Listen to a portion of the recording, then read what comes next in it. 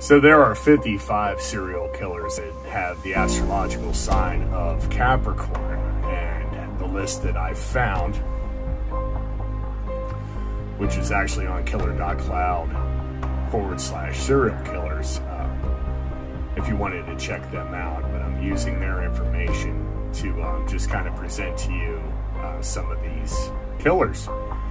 And uh, we'll start with Niles Hogel a German serial killer and nurse who killed 100 patients by administering unauthorized injections.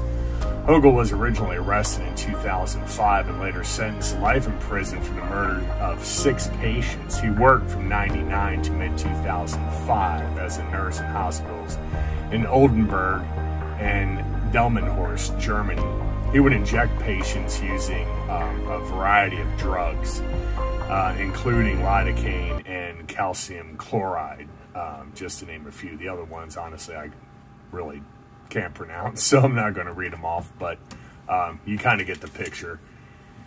He is said to have acted out of boredom and a desire to show off his abilities at resuscitating people.